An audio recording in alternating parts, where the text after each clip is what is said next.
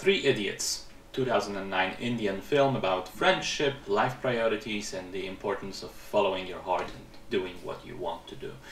Story takes place in two timelines. The first one follows three engineering students as they go through university life.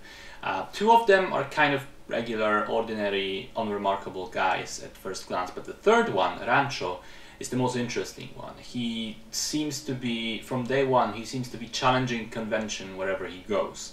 Speaks his mind, challenges authority, uh, has unconventional solutions to problems. Uh, but then his ideas often lead to trouble and then funny hijinks, especially as he comes in conflict with the university director uh, and drags his friends into that conflict. And the second timeline takes place uh, five years after they've already finished university and sees the two friends reuniting in order to try and find Rancho, find out what happened to him in the years since and where he is in life, because nobody has heard from him since they went their separate ways at the end of university. And now this cross-country adventure in search of him will reveal some long-kept secrets. So, on the surface it's a very light-hearted adventure comedy about the hijinks of a couple of students, but it does actually have a fairly serious touch of drama as well.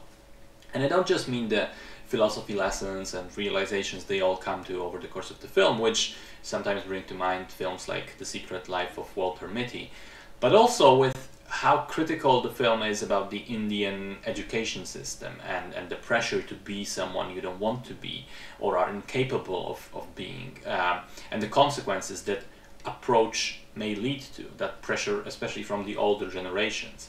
Um, to the point, speaking of consequences, to the point of suicide, which the movie touches on quite surprisingly, not once but twice in, in a really kind of sobering way. Uh, I like the lessons it's trying to import, and I think it imports them quite well, uh, very neatly executing a story with many different characters, plot lines, and twists, and then somehow bringing all of those together in ways that make sense and feel very satisfying in the end. Uh, I think the acting is very good and the chemistry between the characters feels completely genuine. Uh, there's a true feeling of friendship that permeates the, the movie and helps move it along. Two things that I didn't like quite as much. Uh, one is the runtime. I think at 2 hours and 50 minutes, the film is just a little too long. Uh, I think there are certainly parts which could have been trimmed uh, without harm to the story, and as it is, it just drags a little at certain points. And secondly, there is this very Indian idea of suddenly bursting into song and dance uh, in some scenes, and the movie suddenly turning into this uh, explosive Bollywood musical. Thankfully, it's not actually a full musical through and through. There's maybe like four songs or so, and I know it's kind of a staple of Indian cinematic sensibilities, but it didn't work very well for me personally. Also, one additional point. Some scenes use music which I swear is ripped from Ennio Morricone.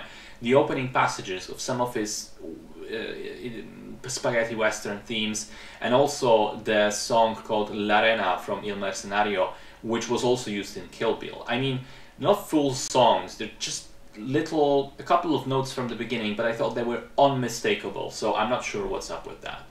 Uh, overall, though, uh, Three Idiots is a solid, enjoyable piece of cinema with some great life lessons uh, that from what I read, had a noticeable impact of, on the Indian society ever since the movie's extremely successful release. And nowadays, you can check it out on Netflix.